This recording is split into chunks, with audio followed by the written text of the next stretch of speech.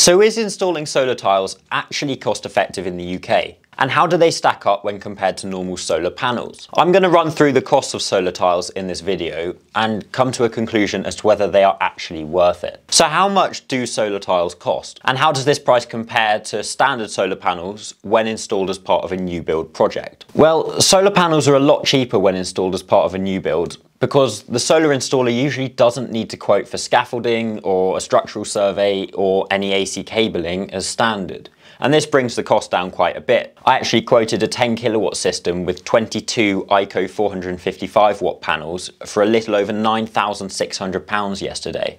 And that's really quite cheap for a 10 kilowatt residential solar system. By comparison, a 10 kilowatt solar system using tiles would cost in the region of £30,000, which is three to four times more expensive. And this has a big impact on your payback period. In the same example, the customer was using a lot of electricity, around 8,000 kilowatt hours per year.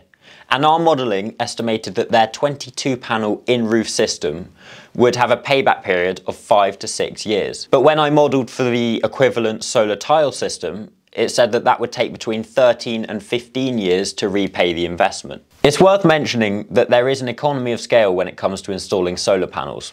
And certain things like the scaffolding and the technical and structural survey are always going to be there whether you install 20 panels or 6 panels. And that's why it's always best to max out your roof space if your DNO permits. The panels themselves aren't actually expensive compared to the overall cost of the project. There's also an economy of scale with solar tiles. However, it isn't quite as profound because the unit cost per tile is very expensive. It's also worth talking about the savings that you get with not needing to buy roof tiles. If you install in-roof solar panels, which fit into the roof instead of above the tiles, then you don't need to buy tiles to cover that area. And these savings are even bigger with solar tiles because you can cover the entire roof instead of just a fixed area as you can with solar panels. We should also discuss which is more reliable. And both the solar tiles and solar panels are warranted for 25 years, with some brands of panel being warranted for up to 40 years, like the SunPower Maxeon series. But in terms of actual real world reliability,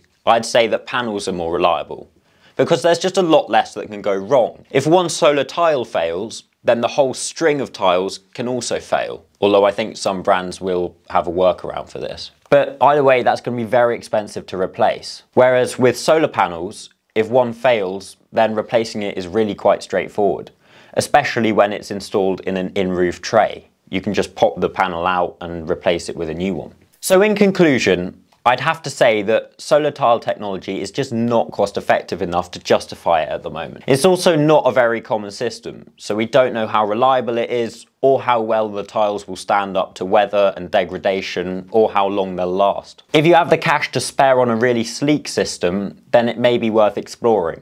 But otherwise I just go for an in-roof system which is very reliable and looks great especially against a slate tile backdrop. And it still allows you to save a lot of money on roof tiles when you're replacing your roof. Solar tiles could be really useful for when you're in a listed building or you're in a conservation area and you want to generate from your road facing roof. But even then, I think you can get away with a good looking in-roof solar system. Now we also have three other videos in this series on solar tiles that will be coming out over the next 48 hours. If you'd like to watch those, please click the link at the top of the screen.